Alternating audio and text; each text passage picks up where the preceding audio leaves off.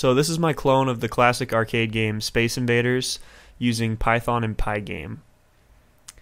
I tried to replicate the core gameplay as well as I could while still enhancing the graphics and adding some new features.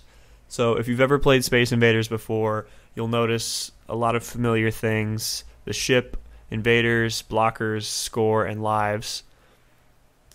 Except the classic game had 5 rows of 11 enemies, and I chose to only use 10 per row uh, due to the screen size, so it didn't feel as congested. So, to spice up the visuals from the original, I gave the enemies different colors to signify their point values, and instead of using a black background, I used a picture of space.